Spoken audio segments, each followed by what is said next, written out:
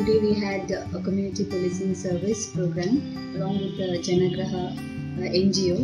Uh, indeed, it was very useful for our students because today we had a freshers day and uh, instead of going on with the normal cultural programs, I thought we'll go ahead with the change and uh, to have something constructive. I have been through universities.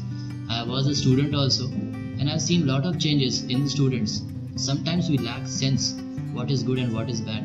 So through these seminars, I guess those who are getting to start or who are about to waste their life, they can stop and they can think. I'm really thankful for uh, Janaagraha who came forward.